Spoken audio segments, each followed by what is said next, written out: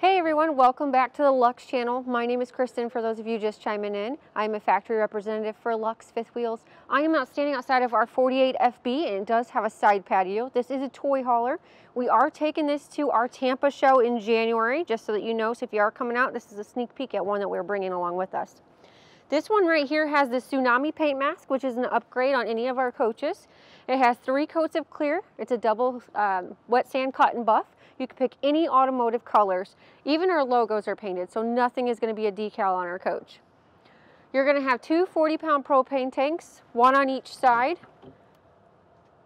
And then you have a very spacious pass-through storage here. You can also get the MORryde tray slide that's going to go in and out of here if you'd like. We do have two service doors inside the pass-through storage to get to that underbelly. Everything about our coach is going to be built for serviceability. All of our coaches are also built for full-time use, all four seasons. They come solar prepped and satellite prepped, or we can install those for you. We have a really large friction hinge door. Makes it really nice on those windier days, so it's just going to stay put wherever you place it. Solid step above um, stairs are an option that you can do. It comes with that extra step and a half at the top and it goes all the way to the ground which makes it easier and it gives you a little bit more balance as well. All metal fender skirting, no plastic. All of your screws are going to be hidden by the belt rail here so nothing is exposed to the elements.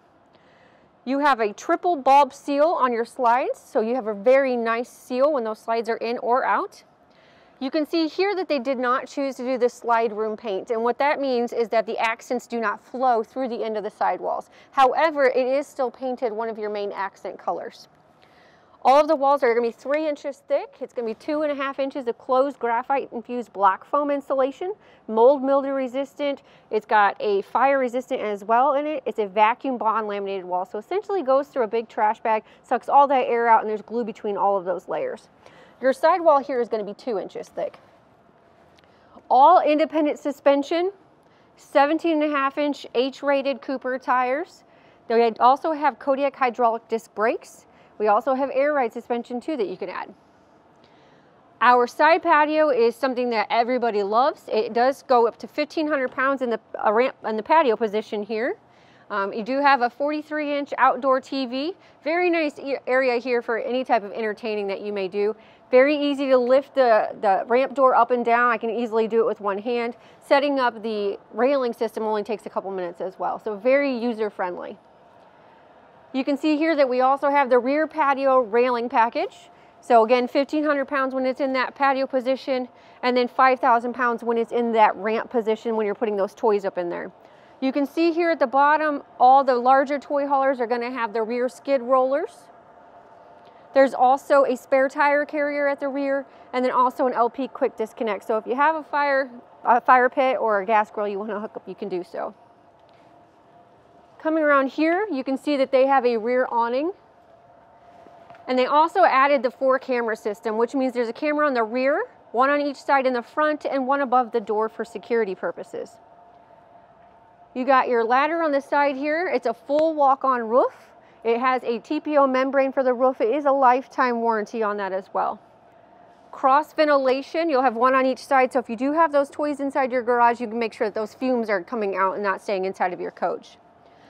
Two fuel tanks here, a 40 gallon and a 20 gallon fuel tank. One's gonna be going to the gen and one is for your toys. Or you do have the fuel pump here where you can pump into the other one, should you need to do so. They did the power cord reel, which is a 30 foot power cord. You do not have to do this option if you do not want to. Two furnaces are going to be on board. Two 20,000s are standard. If you do the ARC package, it's two 30,000 BTU furnaces, and then it's going to upgrade your, um, it's going to add an additional heat pad to your fresh tank and insulate your PEX lines as well. Dual frame, dual pane frameless windows are standard. Also on the toy hauler, that standard is going to be the Truma on-demand tankless hot water heater. So that's going to be the top of the line. It's the Comfort Plus.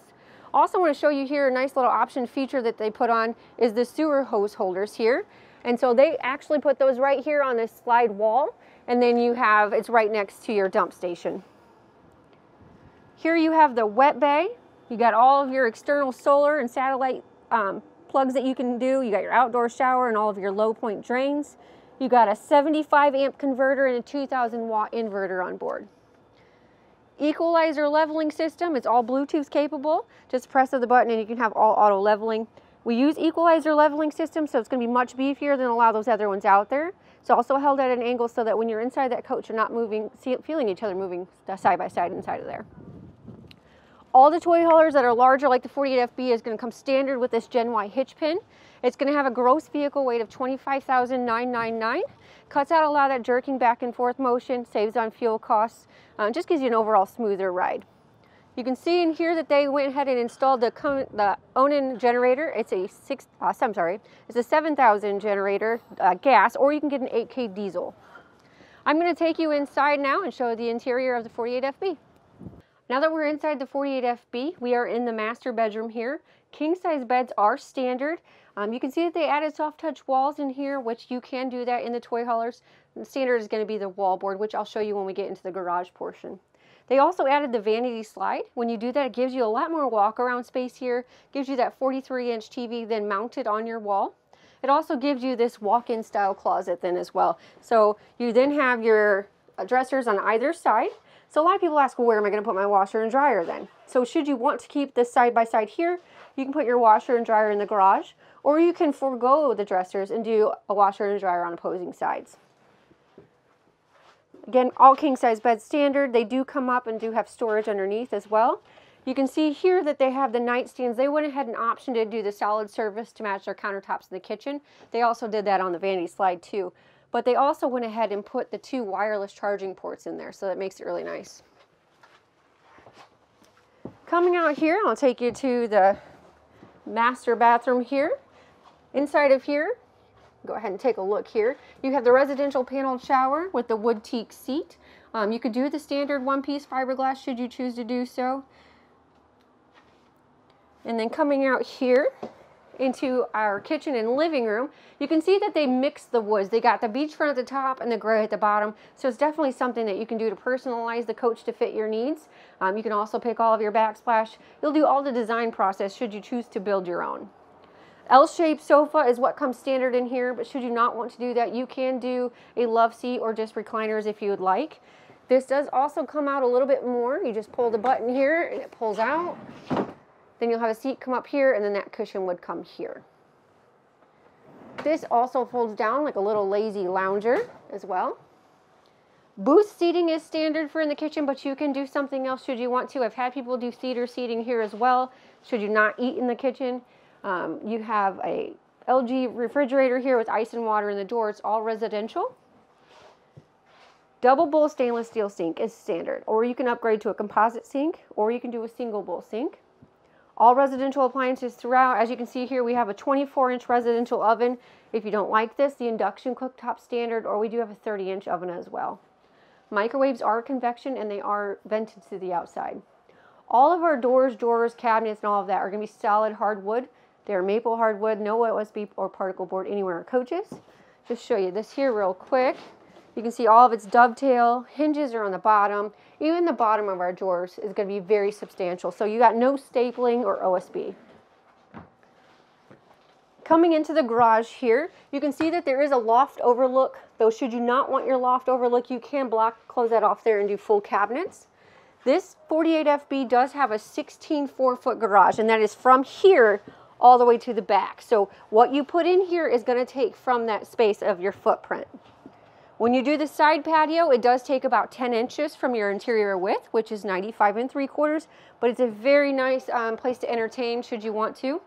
This one right here does have a turned half bath, so they can maximize the length here. You can see that they do have the three E-tracks down on the diamond flooring. Um, normally they will install that when you come for pickup just to make sure we know exactly where you want it. The washer and dryer hookups, they wanted out here because they wanted to keep that dresser in there. So with the half bath, you it's pretty decent size. And then as you can see what I was talking about earlier, inside the living space there was soft touch walls. Out here is the wallboard, which a lot of people will do the soft touch in there because it does dampen the sound, it's climate controlled, adds a little bit more insulation. But to keep the wallboard in here, especially if you're going to have those toys and those gas fumes, just, just to help for, you know, safety and, you know, it doesn't um, penetrate into that vinyl of that soft touch. You also have blackout shades in the toy hauler, so it's going to make sure that nobody can see what's inside of your coach. You have a nice toolbox right here at the end. It's going to go that full length there. And then you can see they have the veranda doors on this one. So if you choose to do the veranda doors in the rear patio, it's going to take up about 10 inches of your length as well. So keep that in mind. The veranda doors, they just easily pull down this and then open it up. And then you would bring your toy in when it's in the ramp position. You can do many things with this space. I've seen people put Instead of the rear ramp door, they just do a regular wall so that you can have a true second bedroom back here, a master suite, craft room, anything like that. Just let us know what you want. This is a very big flex space. Tell us what you're gonna put in it and we can design it for you. If you have any questions, please feel free to give us a call at the factory.